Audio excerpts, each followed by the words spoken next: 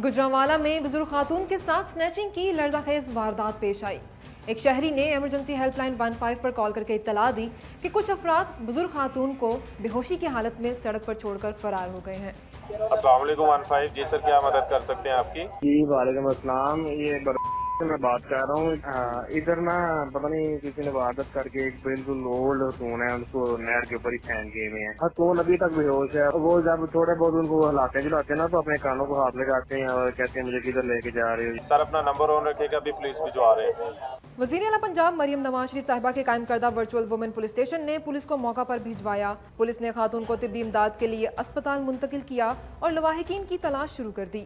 हवास बहाल होने पर खातून ने बताया कि कुछ लोग से जेवरात छीन कर सड़क पर फेंक कर चले गए हैं। वर्चुअल वुमेन पुलिस स्टेशन की हिदायत पर पुलिस ने खातून के वर्षा को तलाश किया और खातून को बहिफाजत उनके हवाले कर दिया।